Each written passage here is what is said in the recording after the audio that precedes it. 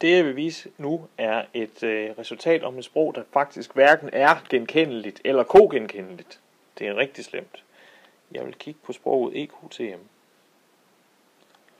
Hvad var det nu EQTM var? Det var sproget af alle de beskrivelser af par af Turing-maskiner, hvorom det gælder at det så M1 og M2 af Turing-maskiner, og øh, LRM1 lige med LRM2. Det vil sige, det her det svarer til spørgsmålet. Øh, givet Turing-maskiner M1 og M2, øh, gælder det så, at øh, sproget genkendt af den ene maskine lige med sproget genkendt af den anden maskine, eller sagt på en anden måde. Hvis jeg har to Turing-maskiner, accepterer de så præcis de samme strenge. Og det svarer altså til sproget EQTM.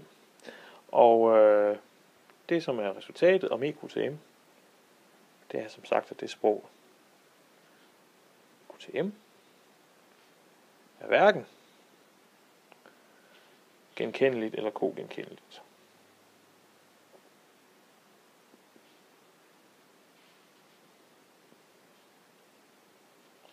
Det er da noget værd nu.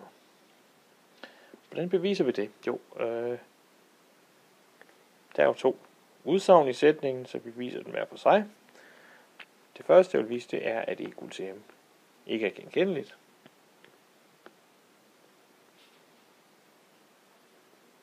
Og hvordan kan jeg vise, at et sprog ikke er genkendeligt? Jo, øh, vi skal bare finde os et sprog A. Så vi skal finde et sprog A, således at øh, A reducerer til EQTM, og øh, A ikke er genkendeligt. Kender vi sådan et? Ja. Vi tager A til at være ATM's komplement, fordi et af de første resultater, vi havde om ikke genkendelighed, det var, at ATM's komplement ikke er genkendeligt. Så vi skal bare vise,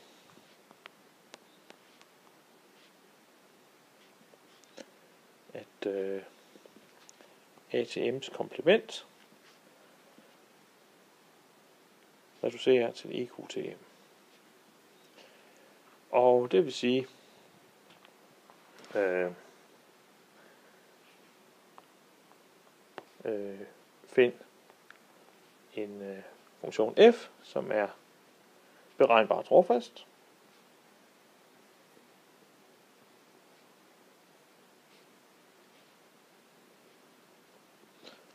Og så at øh, x ligger i ATM's komplement, hvis og kun hvis f af x ligger i EQTM. Og det er jo det samme som at sige, at ja, hvis jeg kommer med et m,w i ATM, jamen så skal det gælde, at jeg forlader mig to maskiner, M1 M2, øh, som ligger i EQTM. Undskyld, det ligger ikke i ATM, hvis kun hvis øh, M1 og M2 ligger i EQTM.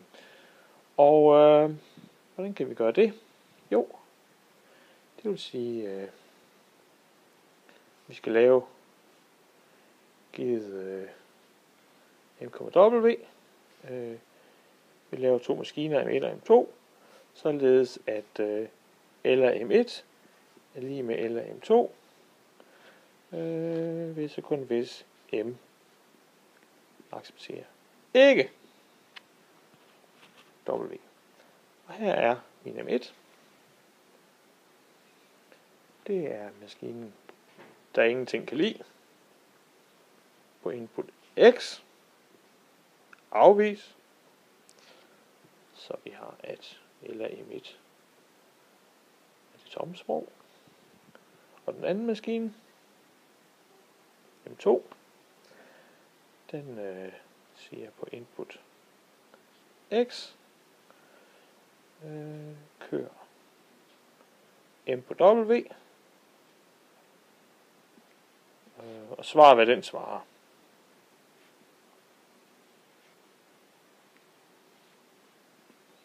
Og det er klart, at øh, hvis M den accepterer W, jamen så har vi, at så vil den her maskine acceptere alt.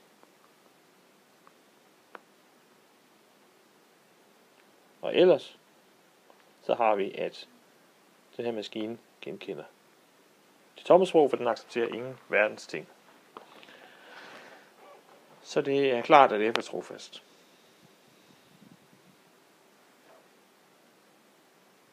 Så den her funktion f, der laver emitter M2, først. Øh. Fordi øh, M accepterer ikke W, hvis jeg kun hvis øh, L er M1, med L er M2. Yep. Det vil sige, at M1, M2 ligger i EQT. Godt. Så det var øh, beviset for, at komplementet af ATM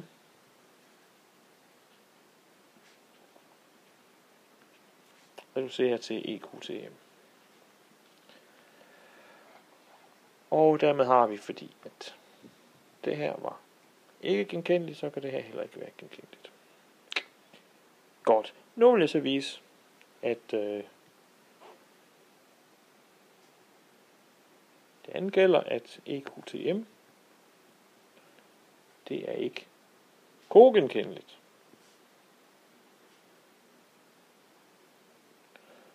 Hvad var det nu, det vil sige? At være kogenkendeligt.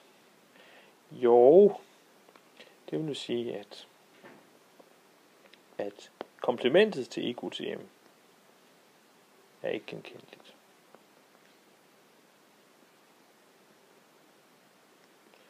Og hvordan viser vi, at komplementet til EQTM ikke er genkendeligt? Jo, igen, der er det nok at vise, at øh, der findes et ikke genkendeligt sprog, der vælger igen A til komplement reducerer til EQ til M's komplement. Men øh, det er det samme som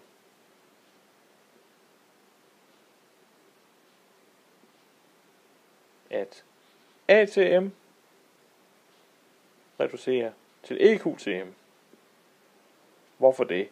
Jo, husk den her sætning, vi havde om komplementer. Den, som sagde, at et sprog reducerer til et andet, hvis det kun hvis dets komplement reducerer til det andet sprogs komplement. Så for at vise det der, kan jeg bare vise det der. Så det gør jeg. Og øh, her er reduktionen.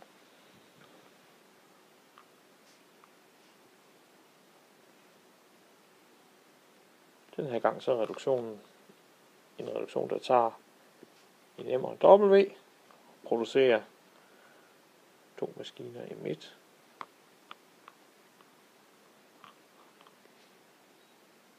og M2, hvor at øh, M1, det er maskinen, der kan lide alting. På input X. Og acceptere. Og M2, det er den samme maskine som i den anden reduktion, vi havde før. Det er maskinen, der siger på input X, der kører jeg M på W, svarer hvad den svarer.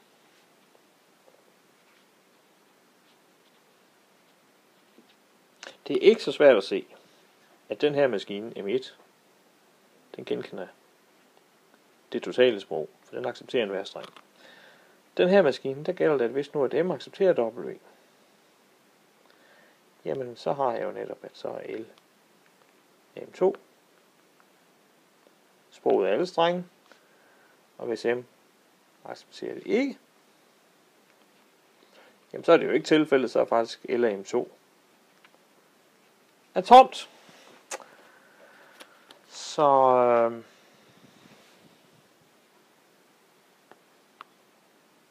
M til W, hvis og kun hvis, eller M1, lige med eller M2. Så derfor har vi, at funktionen er trofast.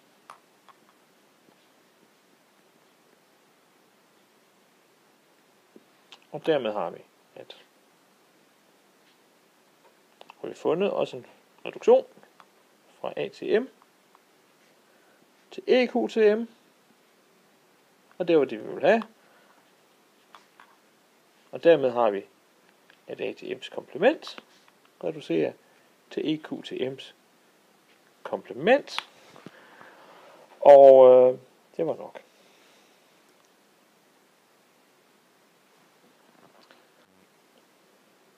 Jeg vil nu prøve at tegne et verdenskort, som viser alle de sprog, som er i hele verden. De ligger inden for det her rektangel. Og øh, der er flere delklasser af det. Der er jo for eksempel delklassen af alle de sprog, som er kogenkendelige. Dem har vi her.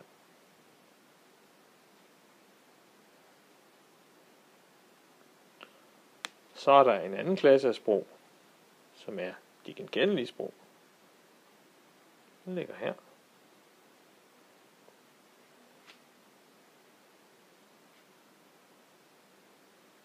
Vi ved, at der er nogle sprog, der både er genkendelige og kogenkendelige. Det er præcis de afgørbare sprog.